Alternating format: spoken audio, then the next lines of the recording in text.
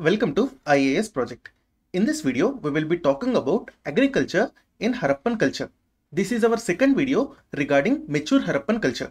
You can watch the first video in the link here. Before we go into the lecture, let's look at a question. Consider the below statements regarding people of Indus civilization or Harappan civilization. Three statements have been given here and the question is which of the above statements are correct. The first statement is they reared cattle for meat as well as for pulling carts. The second statement is they reared both humped cattle and humpless cattle. The third statement is Harappans raised cattle for meat but not for milk. If you know the answer to this question, please answer in the comment section below. Let's talk about what was the subsistence base in mature Harappan phase. Subsistence base simply means that what was the food source for those people. So the subsistence base or the food source for Harappans was mainly from three sources. The first source is nothing but agriculture, the second source was hunting, and the third source was fishing. In agriculture, they practiced both cultivation of plants as well as domestication and rearing of animals. However, we must note that people in mature Harappan culture mainly depended on agriculture for their food. They mainly depended on plant cultivation for food grains and on animal husbandry for meat and milk. So the majority of food came from agriculture. However, they still continued hunting of animals as well as fishing. In our previous videos, we have learnt that agriculture in this region, that is in the northwestern part of subcontinent was being done since Neolithic age. After Neolithic age, whatever the pre-Harappan Chalcolithic cultures were there, they were also doing agriculture. They domesticated animals like cattle, sheep, goat, pigs and other animals as well as they cultivated crops. For example, they grew wheat and barley. So pre-Harappan people were mainly farmers as well as pastoralists. Pastoralists means that they took the cattle to green pastures where the cattle can feed on the grass. So the word pastoralist or pastoralism comes from pastures that is green grass grounds. We know that mature Harappan culture was mainly an urban culture which means that many people lived in cities and most of these people were involved in occupations other than agriculture. However, mature Harappan people still practiced agriculture on a very wide scale. That is why agriculture was one of the most important occupations even during mature Harappan phase. And because of this agriculture, they got most of the food grains as well as meat and milk. This was the most important source of food for them. Hunting and fishing only contributed a very small part compared to agriculture. Let's talk about agriculture in mature Harappan phase. One of the most important crops was cotton. Cotton was grown in the Indus region from almost 7000 years ago. We have evidences that cotton was grown in Mehrgarh, which is in Balochistan, almost 7000 years ago. Mehrgarh is located in Balochistan. Balochistan is nothing but a province of Pakistan. So since then, people continued to cultivate cotton. That is why when the Greeks first came to this region, they called cotton as Sindon. Why Sindon? Because the name Sindon comes from Sindhu river. Sindhu river was basically the local name for Indus river. So as the cotton was being grown near Sindhu river, Greeks called cotton as Sindon. These type of questions can be asked in UPSC prelims exam. Moreover, Harappans were the first people in the world to cultivate cotton. So before Harappans, people did not grow cotton anywhere in the world. Harappans were the first people to grow cotton. Now the question is, how do we know that Harappan people grew cotton? We mainly have two evidences here. The first evidence is that if you look closely here, in this statue, you can see that this person is wearing a shawl kind of cloth. This statue basically is called as priest king statue and it was found in Mohenjo-daro. So this clothing item on the priest king statue is believed to represent a shawl made of cotton. Moreover, you can see some flower motifs also over here. So we can say that Harappan people not only grew cotton, but they also made cloth from such cotton. Moreover, they also embroidered on that cloth. For example, in this picture, you can see flower motifs. Motif simply means a design. Another evidence is that we have actually found pieces of cloth which were attached to lid of silver vase and some other copper objects. And these both items were found in Mohenjo-daro. So from both of these evidences which we found in Mohenjo-daro, we can certainly state that Harappan people not only grew cotton, but they also made cloth out of this cotton and they wore this cloth. So that was about cotton. Now let's talk about the food grains which were grown by mature Harappan culture people. Wheat and barley were the most important crops that were grown by Harappans. Other than wheat and barley, they also grew rice, they grew lentils. What are lentils? Lentils are basically lens-shaped pulses. So lentils are basically a type of pulses. For example, they grew black gram, green gram, they also grew horse gram. They grew chickpeas and peas also. Chickpea is basically chana and peas is nothing but matar. They also grew linseed, mustard, watermelon, sesame seeds. Sesame in Hindi is basically til. They grew dates and they grew millets. We must observe here that all these crops were not grown everywhere within the Indus region. In some places, some crops were preferred depending on the suitable climate as well as soil. We know that ancient Mesopotamia was basically a contemporary culture of Harappan civilization, which means that both these cultures or both these civilizations were existing at the same time. So what were the crops grown by Mesopotamians? Mesopotamians also grew all these crops except rice. So Mesopotamians did not grow rice. Other than rice, Mesopotamians grew all these crops which were shown here. Even in the Harappan civilization, rice was mainly grown in the Harappan sites near Gujarat.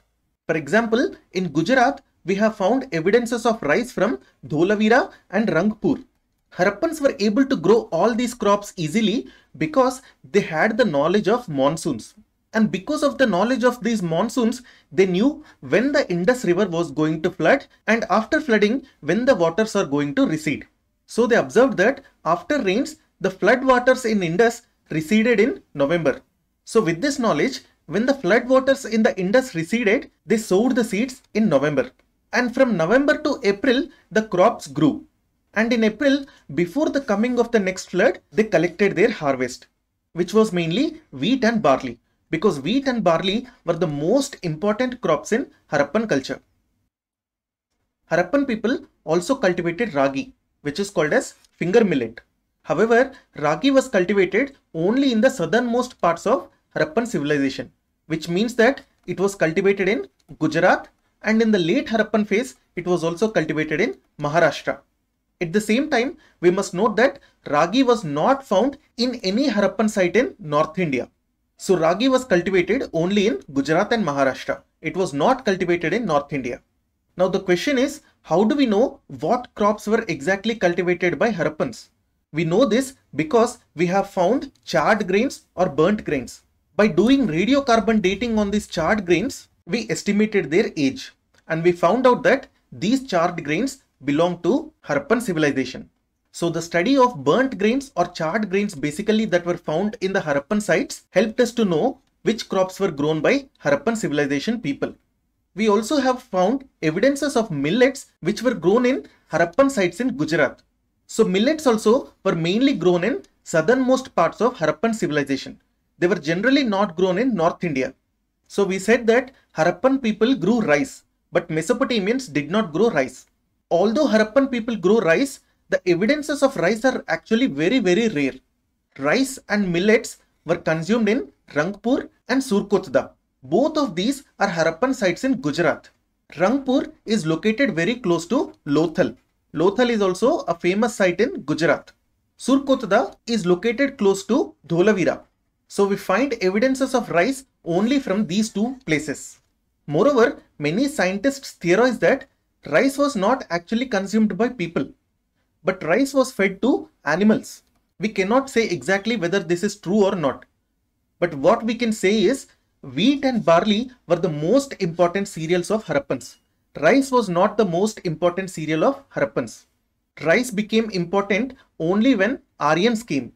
So during the Harappan civilization, rice was not very important. Please remember this fact. And wheat and barley, they were consumed in Sindh as well as Punjab and in other regions also. If we talk about animal husbandry by Harappan people, then Harappan people domesticated cattle, sheep, goats, buffaloes, pigs, asses, that is donkeys, camels, domestic fowls, that is chickens. So all these animals were domesticated by Harappan people. And most of these animals, they domesticated not only for their meat, but also for their hides. Hides means skins, wool, and also dairy products. For example, they got the milk and then they made curd out of this milk. Moreover, if we talk about animals like cattle, buffaloes, donkeys, and camels, they used these animals for work purposes also. For example, they made these animals to pull their carts. We have found evidence that Harappan people used bullock carts also. Other than working animals, they also domesticated cats and dogs. Evidences of horse in Harappan civilization are very very rare. In fact, we only found evidences of horse bones in Surkotda which is located in Gujarat. Other than this, we did not find much evidence of horses. So we can say that culture of the Harappan people was not centered on use of horses. Please remember this statement. It is very, very important because when we talk about Aryan culture, there we will learn that culture of Aryan people was centered on the horse. And horses were very important animals to Aryans. Because of these horses and horse-drawn chariots, they were able to defeat the local people. But horses were not important to Harappan people. Whatever is the case, Harappan people did know about horses, but they probably did not use them. Harappan people raised two type of cattle. They raised cattle with humps and they also raised cattle without humps. What is a hump? This is basically hump. In this picture, above the shoulder of the ox, you can clearly see hump. So the humped cattle were basically called as Zebu cattle or Brahman cattle. Zebu cattle is actually the indigenous cattle of South Asia, that is Indian subcontinent. Let me give you some general knowledge also. Generally, only the cattle that live in arid regions and semi-arid regions have this hump because the cattle living in arid and semi-arid regions generally don't get water and food easily. That is why with evolution, what happened was cattle living in the arid regions started to store some water as well as some food food mainly in the form of fat in this hump. So because of the water and fat in the hump, cattle will be able to survive for longer duration even though food and water is not available to them. Food and water generally are not available easily in arid regions because in arid regions rainfall is very low. So because of low rainfall, water is easily not available. If we talk about cattle in let's say colder regions, for example like in Europe, they generally do not have humps but cattle in Indian subcontinent have these humps. So Harappan people raised both type of cattle, cattle with humps as well as cattle without humps. We have found evidences of terracotta figures like bulls, plough, bullock cart from the Harappan sites. You can see terracotta bulls and bullock carts in this figure. These are two bulls and this is a bullock cart. These were basically toys for children. We did not find evidences of any actual bullock carts because most probably they were made using wood and wood generally gets decomposed very easily. Because of this, we did not find any actual bullock carts, but we found terracotta figures of bullock carts. What is terracotta? Terracotta is nothing but fire baked clay. Moreover, we have also found evidence of plowed field in Kalibangan. We will talk about this shortly. These cattle were not only used for meat and milk, but they were used for pulling carts like it is shown in this picture. Moreover, these cattle were also used for plowing fields. If we talk about features of Harappan agriculture, then the most important feature was that plow was used by Harappans. And what evidence do we have of this? We have mainly two evidences. The first evidence is that we have found toy plows from Harappan sites. You can see toy plow in this picture. We did not find any actual plow, which means that these plows were mainly made of wood and wood gets decomposed very easily. That is why we did not find any actual plow. This also means that they did not invent metal plow. So Harappans used plow, but they used only wooden plow. They did not use metal plow. The second evidence is that we found plowed field in Kalibangan. You can see plowed field here. So in this field basically plowing was done like this. Harappans also used irrigation because most of the Harappan sites in Gujarat, Rajasthan and Sindh are actually located in semi-arid areas. What is a semi-arid area? Semi-arid area and arid area is basically an area with hot and dry climate. We say that an area is arid when the rainfall is less than 25 centimeter in a year. We say that an area is semi-arid when the rainfall is between 25 to 50 centimeter per year. So this is how we define if an area is arid or semi-arid or not. So most of the Harappan sites in Gujarat as well as Rajasthan in India are located in semi-arid areas. That is why irrigation was very important for them. And we have found evidences of this irrigation also. For example, in the case of Shortugai, which is located in Afghanistan, we have found evidences of canals there. In the case of Dholavira, which is located in Gujarat, we have found water reservoir. You can see water reservoir in Dholavira in this picture. They built this water reservoir using bricks. So Harappans did large scale constructions for the purpose of irrigation. And due to the irrigation system, they were able to provide water to their crops. Another feature is that Harappans also built granaries. These granaries were mainly built on the citadel area of the cities. These granaries stored surplus food grains. By studying the granaries, we may say that grain was probably collected as a form of tax from the people. And after collecting food grains as tax, this food grain was probably stored in granaries. So this is one way in which the rulers of Harappan cities might have used granaries to store the food grains. Another feature is that Harappans exported cotton as well as food grains to other regions.